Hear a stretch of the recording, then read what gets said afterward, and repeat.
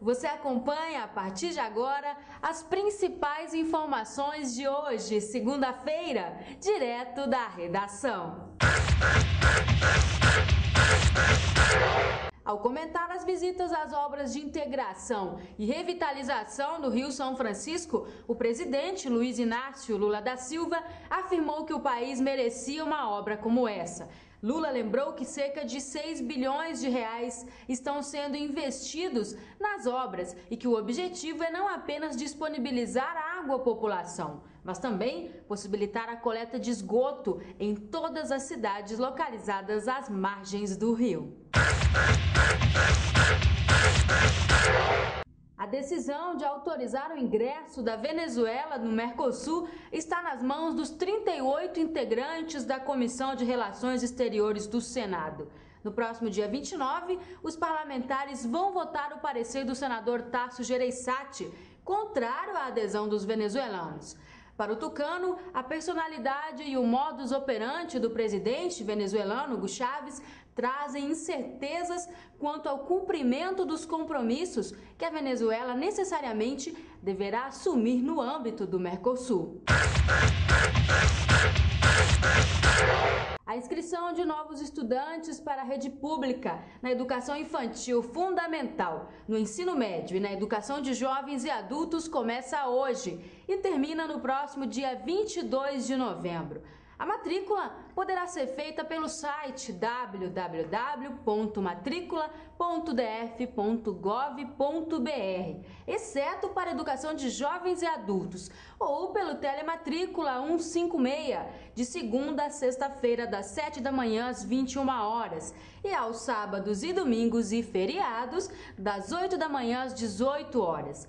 Vale ressaltar que a inscrição feita pelo 156 não garante a matrícula. A efetivação da matrícula do ensino regular, da educação de jovens e adultos e da educação especial será entre os dias 4 de janeiro e 15 de janeiro de 2010.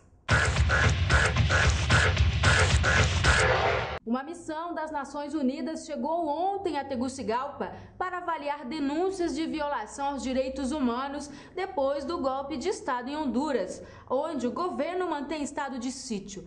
A delegação permanecerá no país até o dia 7 de novembro para preparar um informe sobre a situação. A missão de três membros chegou no início da tarde de ontem a Tegucigalpa. O Ministério do Desenvolvimento Social e Combate à Fome iniciou hoje o processo de capacitação para o uso dos novos formulários do Cadastro Único para Programas Sociais do Governo Federal. Os cursos destinam-se a instrutores técnicos municipais e estaduais que vão treinar os entrevistadores, equipes que visitarão os domicílios para identificar famílias de baixa renda e recolher dados sobre elas. O curso formará 90 instrutores. O objetivo da capacitação é garantir a fidelidade nos registros dos dados das famílias brasileiras de baixa renda inseridos no Cadastro Único.